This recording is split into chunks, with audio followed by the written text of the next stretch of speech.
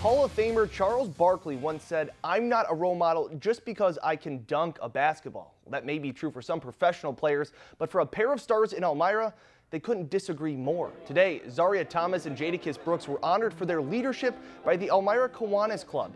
Thomas, a junior, led the way for the Express to their best season in school history.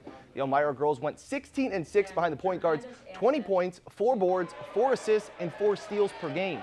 Now, Brooks, a senior, averaged a double-double with 20 points and 12 rebounds. And yes, stats are great, but being an example and a leader is a lot harder than putting the ball in the basket.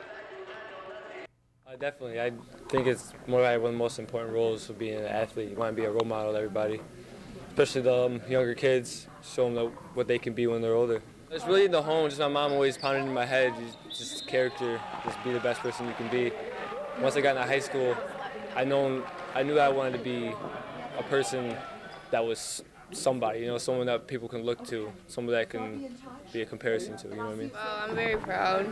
I'm just thankful that I got like awarded for my leadership both on and off the court. So ever since I started playing basketball, I wasn't very good at first, so I knew that with my positive energy, that's what I had to start out with, and with my positive energy, I began to get better.